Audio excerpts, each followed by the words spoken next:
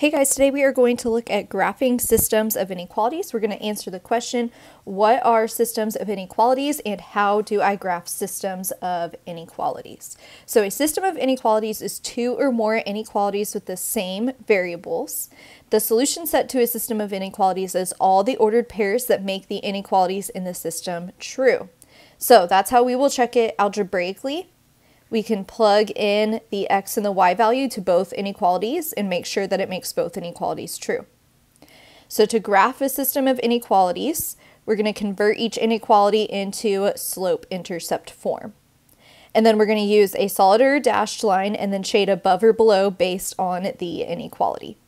And then the solution set to a graphed system of inequalities is the intersection or overlap of the shaded regions. All right, let's look at this first one. Both of these inequalities are already in slope-intercept form since they have y by itself, so they are ready to graph. I'm going to graph this first one. y is greater than negative x minus 2 in blue. So I'm going to start with that y-intercept of negative 2, and then the slope is negative 1. So I'm going to go down 1, right 1. And from the y-intercept, we can also go up one, left one to create that negative one slope. And since we just have a greater than sign, not greater than or equal to, it is going to be a dashed or dotted line through these points. And then it is greater than, so I'm going to shade above. If you are confused on where is above or below, it helps to look at the y-intercept and think above from there. So it's going to be this region that I am shading to show the solution set for that first inequality.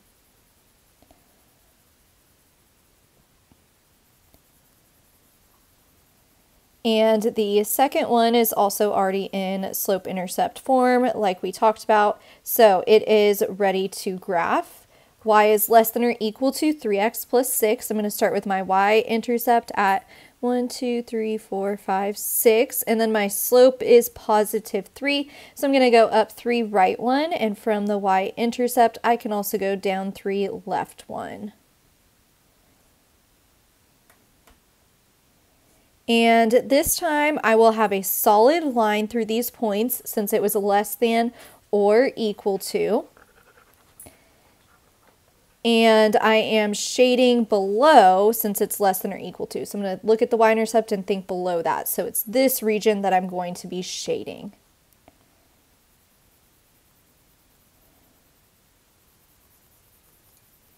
So now you can see the solution set is that overlapping region where the blue and the pink shaded part meet. So there is my solution set right there. Okay, next question is, is 0, 1 a solution? So I'm going to plot 0, 1 on the graph. That's left or right 0 and up 1. And it is right there and it is in the overlapping region. So yes, 0, 1 is a solution. We can also verify this algebraically with the inequalities.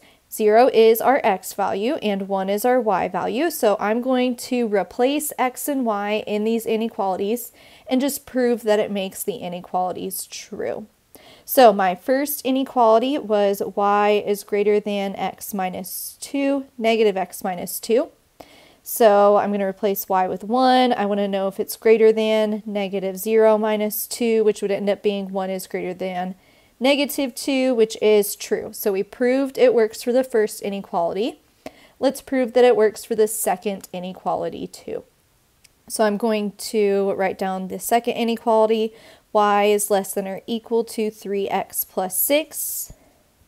I'm going to replace y with 0, less than or equal to 3 times, oops, I did that backwards. y is 1. I'm going to replace y with 1, less than or equal to 3 times x is 0, plus 6.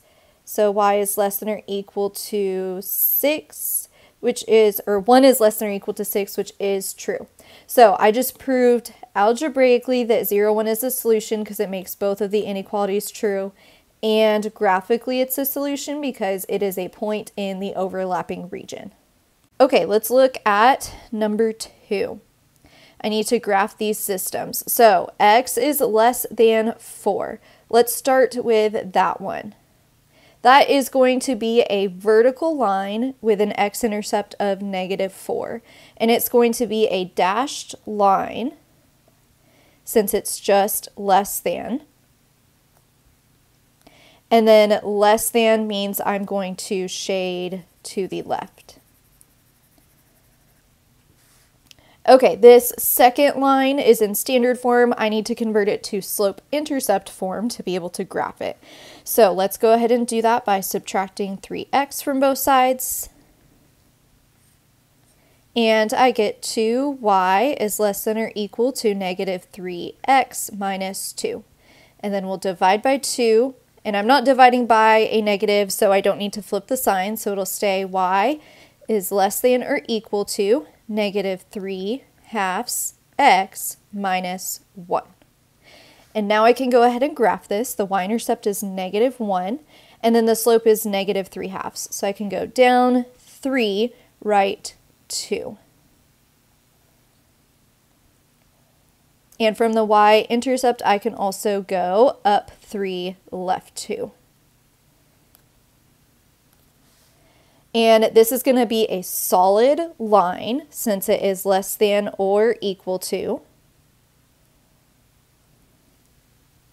And then I am going to be shaded below since it is less than or equal to.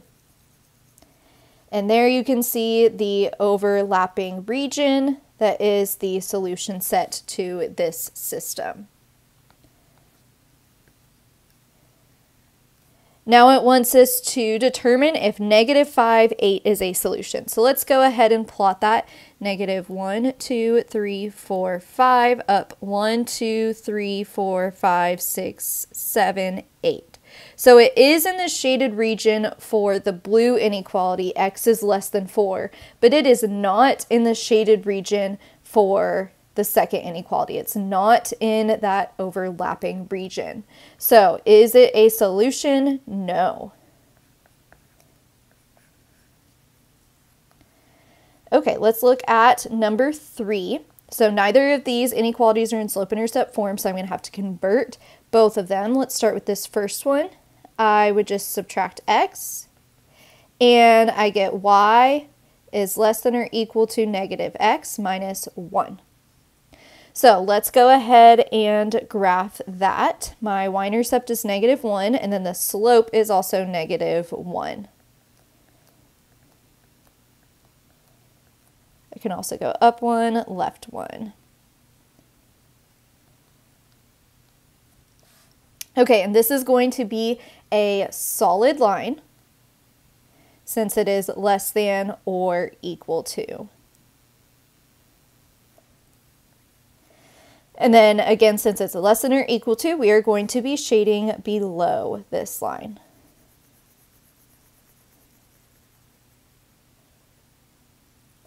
Okay, let's graph the second one, but first I have to convert it to slope-intercept form. So same as the other one, I'm just going to subtract x from both sides. And I get y is greater than or equal to negative x plus 3. So y-intercept at 1, 2, 3. And then the slope is negative 1, just like the other inequality.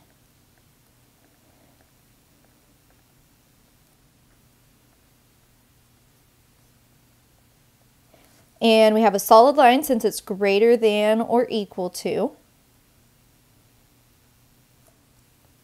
And greater than or equal to means I'm going to shade above this line.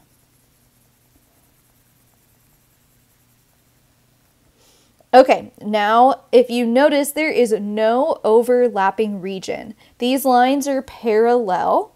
There's never going to be a section where the shaded regions will overlap. So this system of inequalities actually has no solution because there are no over ordered pairs that will be in an overlapping region. There are no overlapping regions. Um, if we plot this point, 0, negative 4, that is only in the blue region. It's not in the blue and the pink. So is it a solution? No, there's not going to be any solutions here. Okay, last one. Both of these need to be converted to slope-intercept form. Let's start with this one. I'm going to rewrite it here. 6x plus 4y is greater than 12. I would subtract 6x and I get for y is greater than negative 6x plus 12. And then we're going to divide by 4. And I get y is greater than negative 2 thirds x plus 3. Let's go ahead and graph that. Oh, it's not 2 thirds. It is negative 3 halves. Let's go ahead and graph this. So y-intercept is at 3, and then the slope is negative 3 halves. So we're going to go down 3, right 2.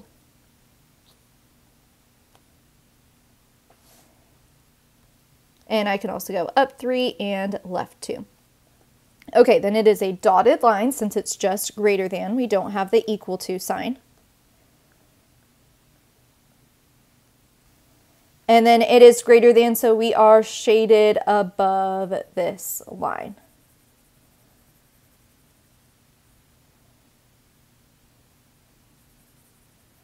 Okay, there's the first inequality. Second one, 3x minus 4y is greater than 8. We need to convert that to slope-intercept form, so we're going to subtract 3x from both sides. And we get negative 4y is greater than negative 3x plus 8. And then we're going to divide by negative 4, and since we're dividing by a negative, we have to make sure that we flip the inequality sign. So this is going to be y is less than 3 fourths x minus 2. Okay, let's go ahead and graph that. We plot the y-intercept, and then the slope is 3 fourths, so we go up 3 over 1, 2, 3, 4. Up 3 over 1, 2, 3, 4. From the y-intercept, I can also go down 3, left 1, 2, 3, 4, down 3, left 1, 2, 3, 4. Okay, and then this is a dotted line since it is just less than.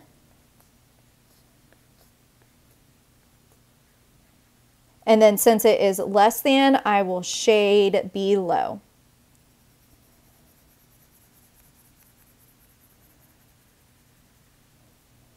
And there is the solution set, the overlapping region. Last question, is 8 negative 1 a solution? So I'm going to go right 1, 2, 3, 4, 5, 6, 7, 8, and down 1. And that is in the overlapping region, so yes, that is a solution.